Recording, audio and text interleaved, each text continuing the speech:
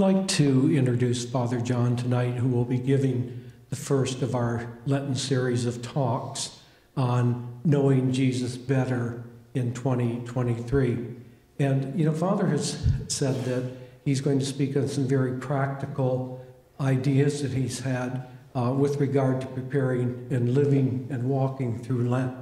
And I think, you know, on this 25th anniversary of his ordination, he's had a lot of pastoral experience with leading people and guiding people on this walk. So um, we will have this presentation, and at the end, there'll be time for questions. Okay, Father John?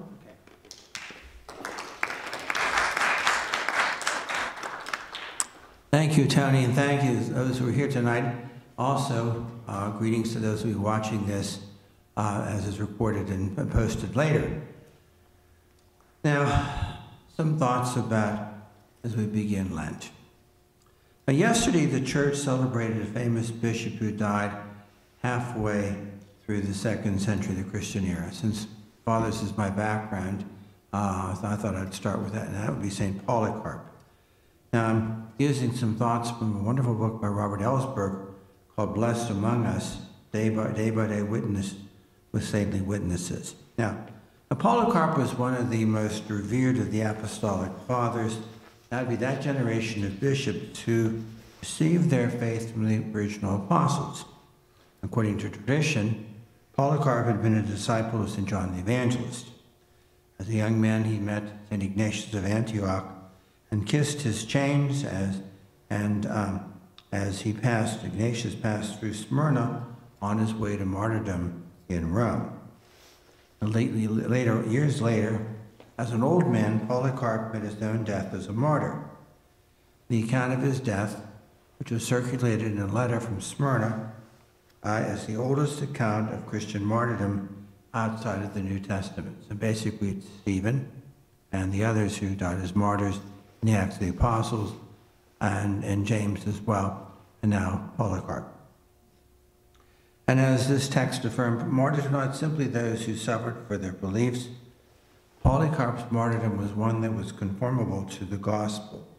In other words, his death, the death of the holy bishop, was a mystical reenactment of the passion of Christ. At the time of his arrest in the year 155, Polycarp was 86. No spring chicken, okay?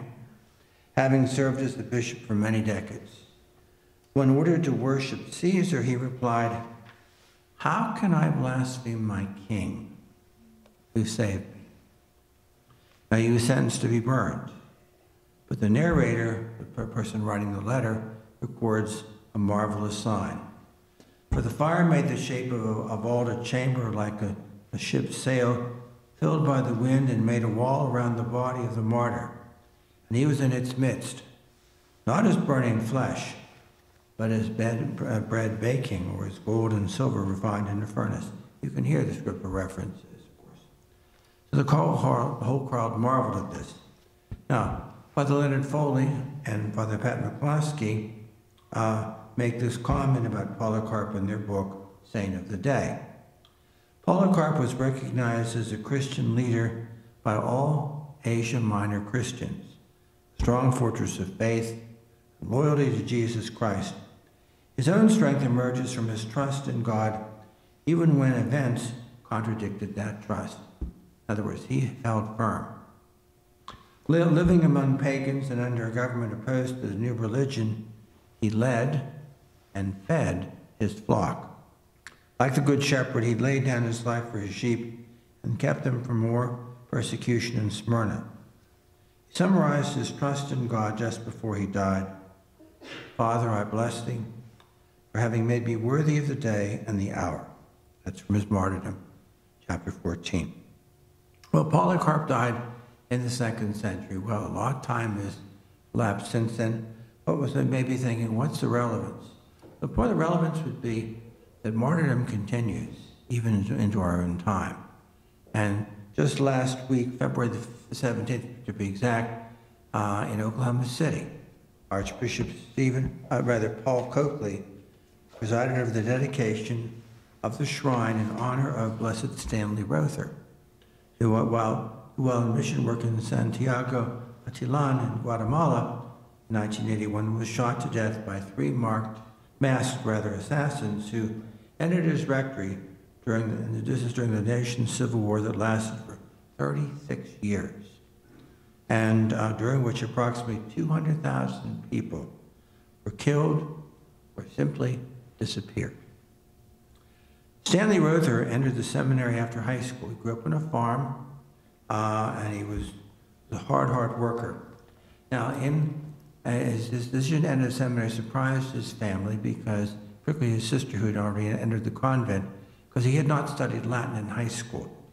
And so, uh, entering the seminary as he did at that time, Latin was a very important subject to have because he, his Latin was, he was difficult with Latin, difficulty with his studies.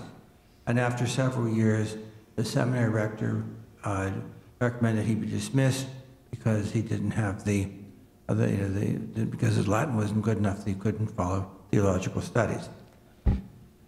Well, Stanley pleaded with the local bishop, this would be Bishop Victor Reed uh, of, of the Diocese of Tulsa, please give me another chance. And so Father Reed turned to a priest who had been teaching Latin uh, locally. His name was Father Joseph Dillon, and he is related to me. He actually is a first cousin of my father's. Uh, and I found this out when I found out that Joe had left active ministry many years ago, had gone to the beatification of Stanley Rother. And I realized they're from Oklahoma. I said, Did you know him? He said, Know him. I taught him. And I'm the one who made the recommendation to Bishop Reed this man deserves another chance. We should find another seminary for him. The bishop took up that recommendation, sent him out St. Mary's Seminary in Emmitsburg, where he finished, and to this date is the only uh, uh, blessed to have graduated from that seminary with all the priests who've come through in the uh, 200 years of that seminary's existence. But uh, anyway, so he was ordained, and then he's, he served in several parishes in the diocese before volunteering to, for the mission work with Santiago Atitlán in Guatemala in 1968. Now, he spent 13 years in Guatemala, and about six months before he was killed on July the 28th, 1981, he wrote in a Christmas letter that the shepherd cannot run at the first sign of danger, and he chose to remain in Guatemala, knowing that it might cost him his life. At the dedication of the shrine of Blessed Stanley Rother, Archbishop Coakley spoke about the example that Rother set for all Catholics. And this is where we're getting in more practical kind of things. Laity, at a time when much of the country and the world is becoming even more, ever more hostile to the faith. He said that the times call for a certain measure of heroism intentionality. Heroism that comes only from living out of a deep personal relationship with Jesus Christ. The world into which we are sent to go make disciples needs committed priests. It needs holy marriages and families. The Archbishop said, it needs dedicated lay leaders and the professions to renew the culture in the light of the gospel, the fragrance of Christ, and the attractive beauty of holiness. We need faithful witnesses and fervent missionary disciples. The Archbishop continued, Let us learn. Let us study the example of our blessed brother Stanley Rother and confidently seek his intercession. We will be found faithful as he was faithful, ultimately be welcomed as he was welcomed into the company of the saints. If someone from uh, Okarche, Oklahoma, can be beatified, become a saint, then by good golly, anybody can. Coakley said, because that's the beauty of Rother. He was one of us, a very ordinary man, a hardworking man, a man of strong convictions, uh, a man of deep faith, but not born with a halo. Blessed Stanley Rother, pray for us. So I put, his, I put the example of these two, uh, Bishop St. Polycarp, uh, who was a bishop, and Stanley Rother was not a bishop, but a priest, both of them who died as martyrs, looking at their virtues, asking them to strengthen us in the times in which we live. Now, I want to, I want to shift a bit in this last part of the talk. I want to look at uh, a scripture that the church puts before us. We first saw it, those who pray the Liturgy of the Hours on, on Ash Wednesday for the Office of Readings. Isaiah chapter 58. It's a very important chapter uh, for us uh, as we begin Lent, and the church gives it to us every year. And, you know, the way, when we look at what, how things are structured, we learn some important things. And Isaiah 58 gives us some very important things to look at as we begin our observance of Lent. And the readings in Lent, Lent among the most ancient in the liturgy, and so this has been set before us for many, many centuries because the church, in her wisdom, sees these are things we need to look at. Now, today we had on Mass, we had uh, Isaiah chapter 58, verses 1 to 9. Tomorrow, for those who go to Mass or those who are following the readings, we'll have Isaiah 58, verses 9b, in the second half of 9, chapter, verse 9 to verse 14. In the first selection, Isaiah complains that God does not heed their fasting. Uh, God rebukes them for abusing their poor on their fast days, doing justice, because he said doing justice is true fast. In the second selection, we hear that those who are blessed, who care for the poor, the oppressed, and the hungry, and observe the Sabbath day. Now, these early readings in Lent serve to instruct us in what constitutes fasting that is truly pleasing to the Lord. We're called to turn away from sins. Ideally, fasting should be an external representation of what is going on in our hearts. What should happen in our hearts is that we're transformed to be as compassionate and loving as God is. True fasting involves service to the poor, widows, and orphans, reaching out to those who are broken or sheltering the oppressed and homeless. Our faith can't just be an internal reality. We believe and therefore God will save us. That's more theory than a faith. We need to express our faith in our external actions. And from the earliest days, fasting and almsgiving were have been connected so that the money that we save from not spending it on food, we take that money and we give it to the poor. That's the reason I think the, the, the genius of something like Operation Rice Bowl really is good because it, it makes that connection. There's who use the rice bowls, that the money we save, it, it really, really goes toward poor. You know, and so I'm just looking at the concept of fasting for a minute. How did the church, early church practice it? And I'm, I'm just putting this out here because when we look at we do what we do, uh, it's really nothing in, in some ways in comparison. The early Christian fast was very similar to Ramadan, uh, with, the, with the Muslims observe today. You know, that nothing from sunup to sundown. That's what fasting meant. Now, in monastic life in the West, um, the rule had been that uh, nothing to eat until after Vespers. So um, many of the monks who were working on farms and whatnot found that very hard. So what did they do? They moved the time of Vespers up. Uh, so instead of being an evening prayer, instead of an evening time, it was moved to noon. Uh, and then, now this shows you how things really developed with us, with our fasting rules today. So nothing, you know, so nothing after Vespers. When the Vespers is now at noon, that becomes the main meal of the day. Well, later in the day, the people at home, so they said, well, you can have a small snack. That's the collation. Then finally, for those who weren't going to receive communion, you, you could break the fast and then have what we call breakfast. So that's so that when we look at the rules for fasting today, the quantity in the days in which we're supposed to fast, the quantity and quality of the other two meals should not represent quantity and quality that we have in the main meal.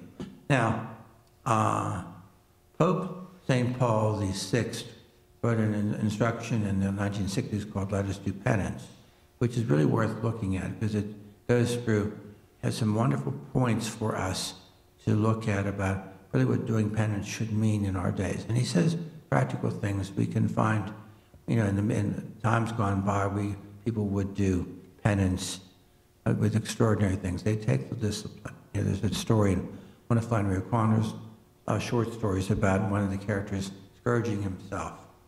The other character seeing him doing this says, "What are you doing?" Nobody does that kind of thing anymore. Which the character said, "Well, if I'm doing it, somebody's doing it." You know, And anyway, but uh, that would be the, the, the that was a practice that went on, and I know I know with the with the Capuchins until uh, you know till, till, you know, till recent times. It'd be on Fridays, particularly Fridays in Lent, it'd be take the discipline. And that would be scourging themselves.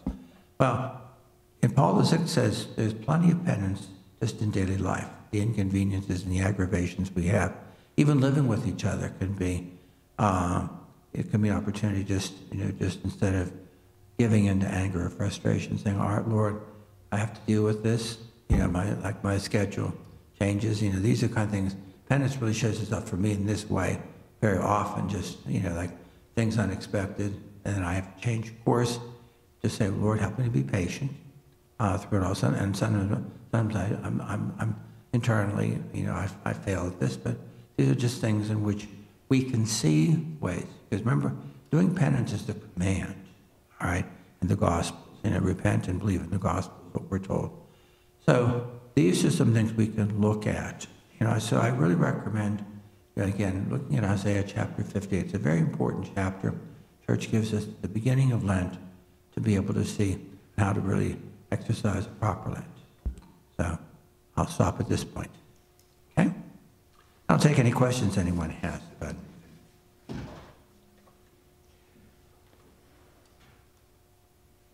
Can you, um, if you have a question, please raise your hand and I'll bring the microphone to you.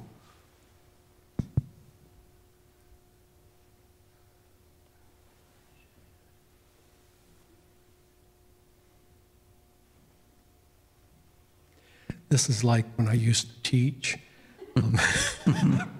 so which means I'm going to get a question from Tony, which is all right.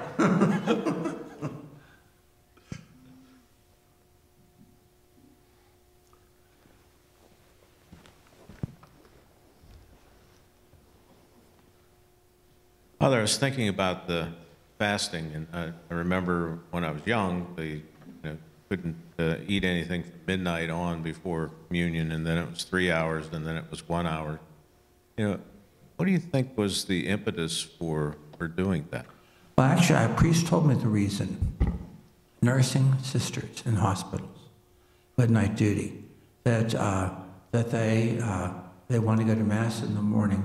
It means they couldn't eat or drink anything all night long. And it was, that was one of the, major inputs, in, impetuses for relaxing that rule so that uh, bringing it to three hours and was. That was, that was one of the reasons, practical reasons they did it, that brought that about. Okay, so dispensation didn't exist then. Well, I probably it that way. did, but uh, anyway, but that's that's how they solved it. Was just was just relieving it because I because I remember I was taught it was about about three weeks before I made my first communion that we're not to have anything from midnight on, Right. and then quickly sister to teach us it's three it's three hours now, and then and then I remember also in the first weeks afterward we did, they didn't provide any breakfast, so we had to fast. And my mother said you are not you know, I, I you know, you, you, you eat something to eat. And I'll, I'll explain it to the sister. Sister wasn't very happy, but then, but then she had to do with my mother. So the next year, what they did, they made sure we had, we had, we had toast and cocoa after we, we had mass, so the children had something to eat. So they, so my, I guess my mother prevailed. God rest her soul. Yeah.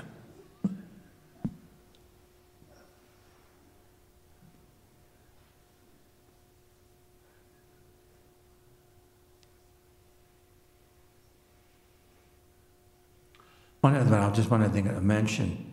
That would be, the same priest who told me the story about the nursing sisters. Also, his name was Father Urban Adam, he's Capuchin. And he wrote a little booklet on canon law.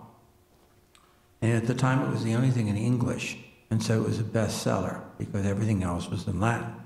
And the canon law professors at the time really railed against it, but it still was a good seller because, you know, priests could, could convert it. But it had all kind of things just uh, with you know a computation of time, you know, being able to figure out making making use of the law for like for fasting. Because you remember it was was pretty strict, so they had tables of account, you know, tables of permissibility in them, which you could use uh, because because the strict rule was you were supposed the priest was supposed to celebrate the liturgy of the hours in its entirety before midnight.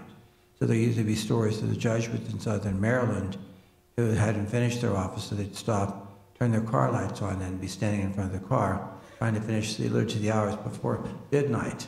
Uh, I know, I know there was also a case people would also be checking to see, you know, how long they, they you know, they were at a party, how long they keep, keep eating meat. Because there was a thing, I know like Indiana, Pennsylvania was plus 20.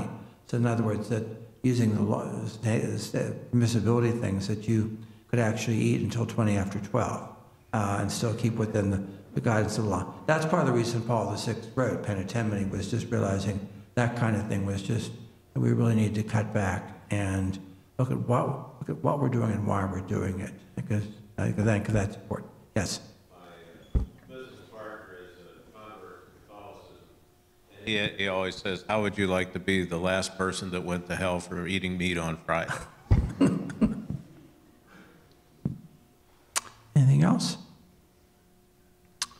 Well, then let's pray. In the name of the Father, and of the Son, and of the Holy Spirit. Amen.